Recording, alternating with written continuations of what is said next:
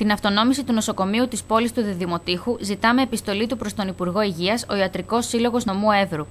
Με την κοινοποίηση μιας μακροσκελούς επιστολής, ο Ιατρικός Σύλλογος επισημαίνει στον Ανδρέα Ξανθό τα προβλήματα και την έλλειψη προσωπικού, ζητώντας του να πάρει θέση αναφορικά με το ζήτημα της αυτονόμησης του νοσοκομείου και να δώσει λύση σε ένα μακροχρόνιο πρόβλημα. Είναι μια ιστορία που κρατάει περίπου τρία ή τέσσερα χρόνια από τότε που έγινε ο διαχωρισμός, η ενοποίηση του νοσοκομείου Δημοτήχου με το Πανεπιστημιακό Γενικό Νοσοκομείο Αλεξανδρούπολης και μετατράπηκε σε νοσοκομείο Εύρο όλο αυτό το πράγμα.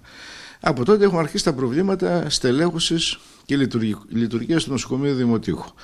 Έχουν περάσει διάφοροι υπουργοί, έχουν γίνει διάφορα διαβήματα, υπήρξαν υποσχέσεις ε, για την εκ νέου ανεξαρτητοποίηση του νοσοκομείου Δημοτήχου, το οποίο εμείς υποστηρίζουμε σαν Ιατρικό Σύλλογο Εύρου. Ζητούμε λοιπόν την ανεξαρτητοποίηση του, την επαναφορά δηλαδή στην πρωτιάρα κατάσταση της ε, λειτουργίας του Γενικού Νοσοκομείου Δημοτήχου. Σαν δευτεροβάθμιο νοσοκομείο ανεξάρτητο, ε, ώστε να μπορέσει να λειτουργήσει με καλούς κανόνες ε, όσον αφορά την παροχή υπηρεσιών υγείας στην περιοχή. Ε, τα, οι αφορμές ε, είναι διάφορες. Κάθε φορά υπάρχει μια αφορμή. Έλλειψη προσωπικού, έλλειψη γιατρών, αποσπάσεις γιατρών, ε, παρετήσεις γιατρών που δημιουργούν πρόβλημα στην καθημερινή του λειτουργία. Ε, πρόσφατα υπήρχε ένα τέτοιο πρόβλημα πάλι το οποίο από ό,τι διαπιστώθηκε μετά αποκαταστάθηκε από την ε, διοίκηση του νοσοκομείου Εύρου. Ο πρόεδρος του Ιατρικού Συλλόγου τονίζει ότι ο διαχωρισμός της μονάδας υγείας του Διδημοτήχου από αυτήν του Πανεπιστημιακού Γενικού Νοσοκομείου Αλεξανδρούπολης αποτελεί πάγιο αίτημα των ιατρών, την ικανοποίηση του οποίου είχε υποσχεθεί στο παρελθόν ο τρέχον Υπουργός. Με τον κύριο Ξανθό υπήρχε υπόσχεση ότι θα το δει το θέμα θετικά κτλ. Ε, λοιπόν, πρέπει να τελειώνει αυτή η ιστορία. Ή να ξεκαθαρίσει ότι δεν χωρίζει αυτό το νοσοκομείο γιατί είναι μια μνημονιακή υποχρέωση να τελειώνει η ιστορία και να δούμε πώς μπορεί αυτό το νοσοκομείο να συνεχίσει να λειτουργεί με καλές συνθήκες και προοπτικές.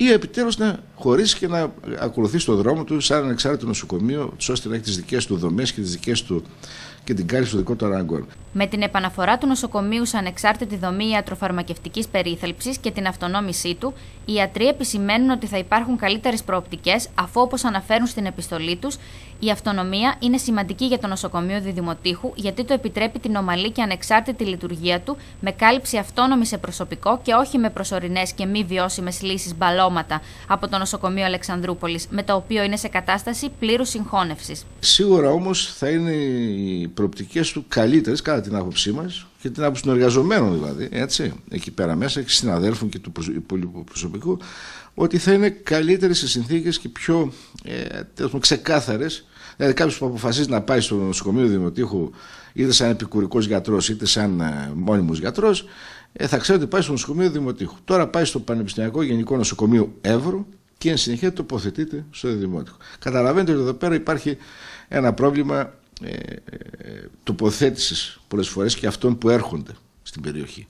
Και το Δημότυχο είναι ένα νοσοκομείο το οποίο προσφέρει σε ένα μεγάλο αριθμό του ευρύτικου πληθυσμού